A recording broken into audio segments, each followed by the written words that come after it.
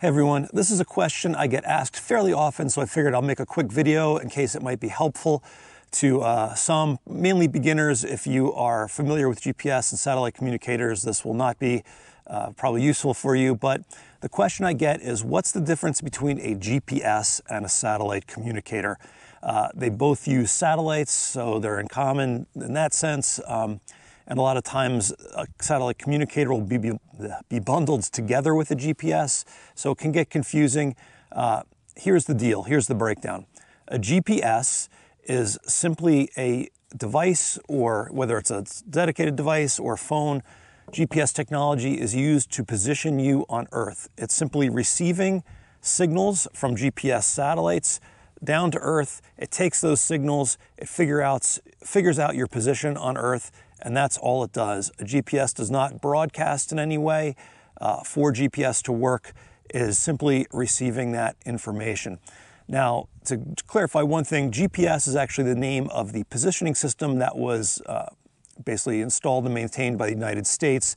Since then, there's been others. There's GLONASS, which is the Russian equivalent. There's Galileo, which is the European equivalent.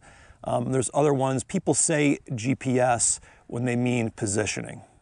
Now, a satellite communicator, on the other hand, actually has nothing to do with positioning. It is simply a tool for you to communicate in the backcountry just like you would on a phone. Now, for a phone, cell phone signals don't go generally into the backcountry. So, what do you do when you don't have a cell phone signal? You use a satellite communicator. And a satellite communicator, unlike a GPS, does broadcast. It takes your message, which is generally a text message, and it broadcasts it up to satellites. Uh, the satellites then forward it on to a phone or an email or whatever it might be. It depends on the platform, how that works specifically. And then it also checks for new messages. So if somebody has sent you a message in the backcountry, it'll go through that satellite and come down to the phone. And that's purely the function of a satellite communicator. It's used to communicate in the backcountry where you don't necessarily have other forms of communication.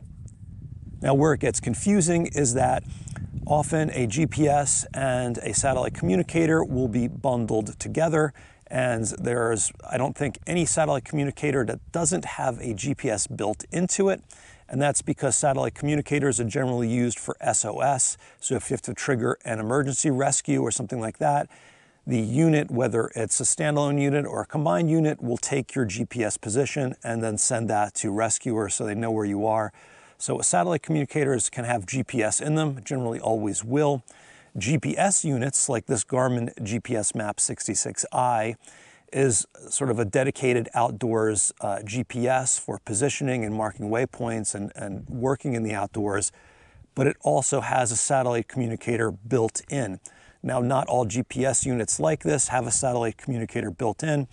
A phone, almost always modern phones have a, a GPS receiver in them.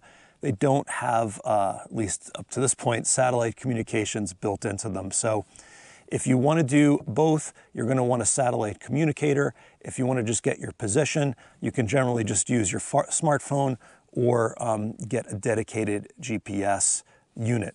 So that's the difference. If you still have any questions, just leave them in the comments. I'm happy to answer them. I know it's a little confusing if you're just getting into it. And uh, yeah, all right, guys, I'll see you out there.